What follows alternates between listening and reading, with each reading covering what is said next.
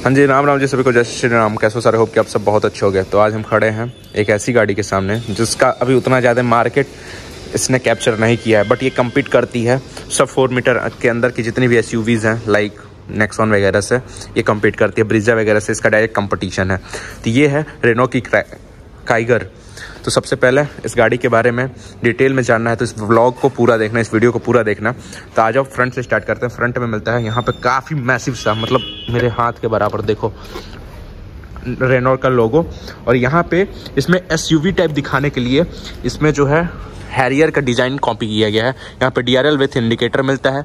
यह है इसके हेडलाइट्स मैं देख रहा हूँ इसके हेडलाइट्स BMW से मुझे लग रहा है कॉपी किया गया है। तो ये BMW वाले टाइप के हेडलाइट इसमें मिल जाते हैं। यहाँ पर रेनॉल्ट की बैजिंग मिलती है, देखो। ठीक है? इसका स्किट प्लेट की बात कर लेते हैं तो ये डुअल टोन में फ्रंट से गाड़ी मिलती है। स्किट प्लेट ब्लैक में मिल जाता है। साइड से बात कर लेते हैं तो भाई, लाल कलर में तो काफ़ी ज़्यादा ज़बरदस्त गाड़ी लगती है। लंबाई की बात कर लेते हैं तो उनतालीस से इक्यानवे एम की लंबी मिलती है। एलोवेल काफ़ी प्यारे लगते हैं मेरे को। ट्रस्ट मी मेरे को इस गाड़ी के एलोवेल काफ़ी ज़्यादा प्यारे लगे। रेनोल्ड की जितनी भी गाड़ियाँ आती हैं, उन सब गाड़ियों में से। ये टुक टुक इसलिए कर रही है? जस्ट बिकॉज़ ये चाबी मैं लेकर दूर जाऊँगा ये जो गाड़ी है लॉक हो जा रही है। और पास आऊँगा तो लॉक हो जा रही थी इसलिए मैं चाबी वहीं पर रख दिया हूँ। सो so, एक बार मैं टायर की बात कर लेता हूँ तो टायर सेक्शन यहाँ पे चेकआउट करा देता हूँ। एक सौ पंचानवे साठ आर सोलह। तो सोलह इंच का ये एलोइविल मिल जाता है। इसका टायर सेक्शन कुछ ऐसा सा मिल जाता है। पीछे से मेरे को गाड़ी सबसे ज़्यादा प्यारी लगती है। जस्ट बिकॉज़ इसकी जो एल टेल लाइट्स हैं और ये वाला सिस्टम देख रहे हो? ये काफ़ी ज़्यादा प्यारे लगते हैं। यहाँ पे रेनॉल्ट की बैजिंग मिल जाती है क्रोम में और यहाँ पे काइगर का लोगो मिल जाता है और रेनॉल्ट का लोगो काइगर की बैजिंग एक बार बूट स्पेस मैं चेकआउट करा देता हूँ इस गाड़ी का। 405 लीटर का बूट स्पेस मिलता है। काफ़ी बड़ा सा मैसिव सा बूट स्पेस इस गाड़ी के अंदर आता है आपको।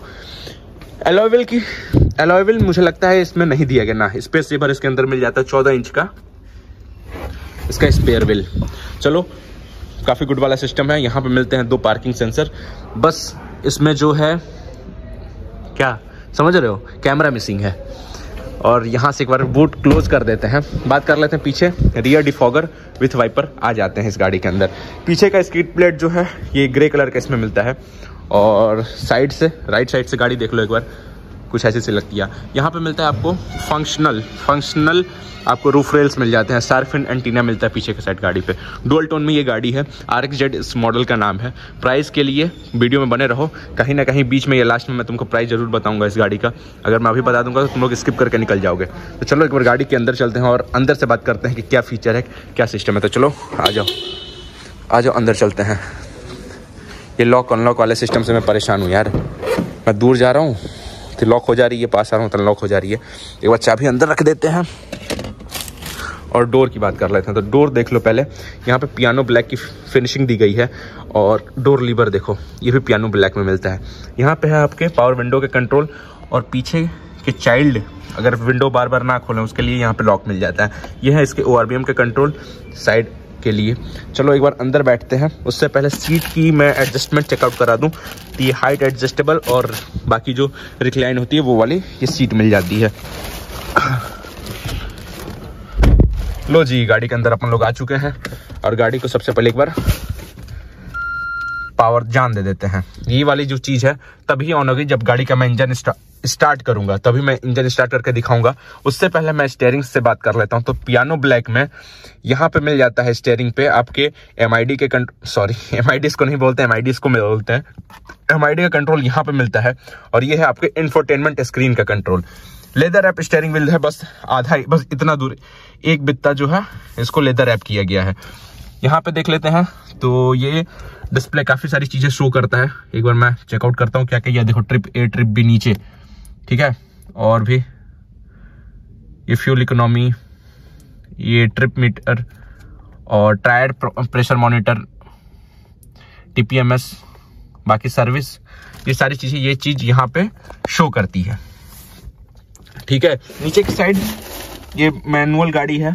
तो आपको इसमें डेड पेडल नहीं मिलता है, बस क्लच ब्रेक ब्रेक एक्सेलरेटर वगैरह मिल जाता है। और यहाँ पर मिलता है आपके वाइपर के कंट्रोल फ्रंट एंड रियर यहाँ पे मिलते हैं आपके हेडलाइट के कंट्रोल और यहाँ पे से आप आप अपनी गाड़ी का बोनट और फ्यूल गेज खोल सकते हो। एसी जो बात कर लेते हैं तो एक बार चेक कर लो। ऑटोमेटिक एसी मिल जाता है इस गाड़ी के अंदर आपको। ठीक है? ये हटाने में बड़ा मज़ा आता है, मुझे पता नहीं क्यों। ये देखो ऑटोमेटिक एसी मिल जाता है इस गाड़ी में। यहाँ पे ऑटो का बटन है। यहाँ पे आपको इंजन स्टार्ट स्टॉप का बटन मिल जाता है। यह है Android Auto Apple car play connect करने का सिस्टम यहाँ से अगर आप वायर कनेक्ट करके अपने फ़ोन से इस डिवाइस से कनेक्ट कर सकते हो। इसका पियानो ब्लैक में जो सेंटर कंसोल है, सबसे ज़्यादा प्यारा लगता है।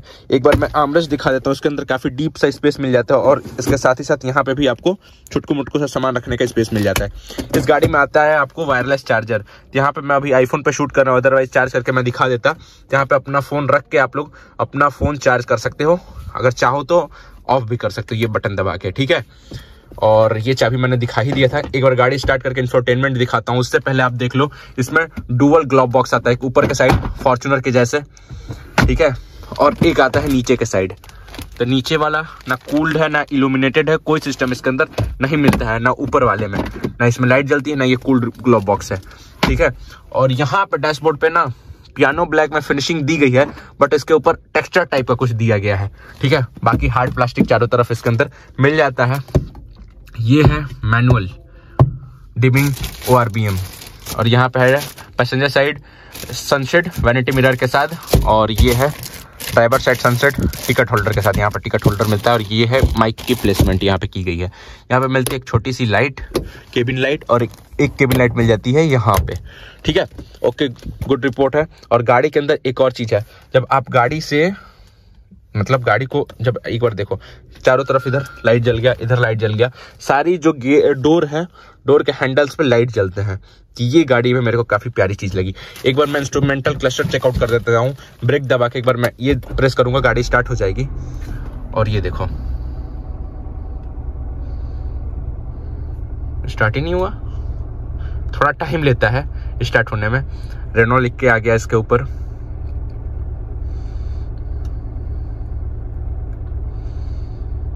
ये देख लो।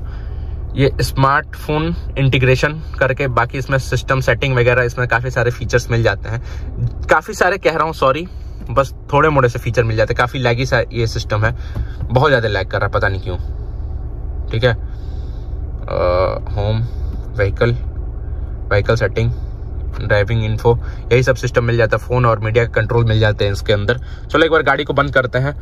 और चलते हैं पीछे के साइड तो एक बार मैं ड्राइवर सीट को अपने अकॉर्डिंग एडजस्ट कर लेता हूँ और पीछे के साइड के चल के, पीछे साइड चल के स्पेस चेकआउट करा देता हूँ। तो या, थोड़ा सा और आगे। या परफेक्ट चलो, जब पीछे आ जाते हैं, पीछे के साइड अरे भाई, मैं तो बलून से ही परेशान हूँ। यहाँ पे देख लो सेम पियानो ब्लैक की फिनिशिंग दी गई है और यहाँ पे मिल जाता है पावर विंडो का कंट्रोल थोड़ा सा बोटल वोटल रखने का स्पेस मिल जाता है और ये है फैब्रिक सीट्स रेनो का ब्लैक फैब्रिक सीट आ जाओ अंदर आके बात करते हैं, पीछे का स्पेस कैसे है, अंदर थाई सपोर्ट वगैरह।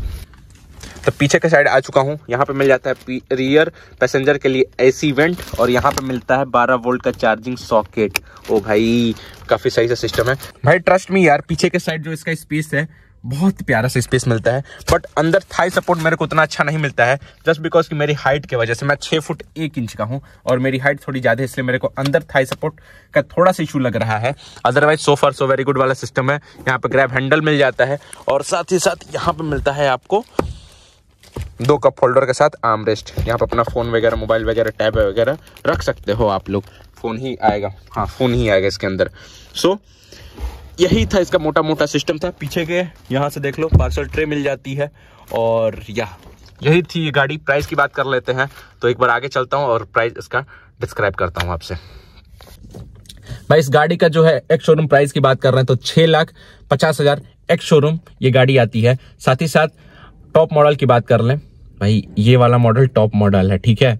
टॉप मॉडल, मैनुअल में टॉप मॉडल है। तो इसकी प्राइस की बात कर ले तो समवेयर ये वाली गाड़ी, जिस मॉडल में मैं बैठा हूँ, ये वाली लगभग लगभग ग्यारह लाख का एक्स शोरूम आएगी। अगर टर्बो में जाओगे आप ऑटोमेटिक में तो ग्यारह लाख तिरपन हज़ार के आसपास वो एक शोरूम गाड़ी आएगी। बाकी अपने अपने सिटी के अकॉर्डिंग तुम लोग ऑन रोड प्राइस चेक कर सकते हो। वो तो डिपेंड करता है भाई, किस सिटी में तुम रहते हो।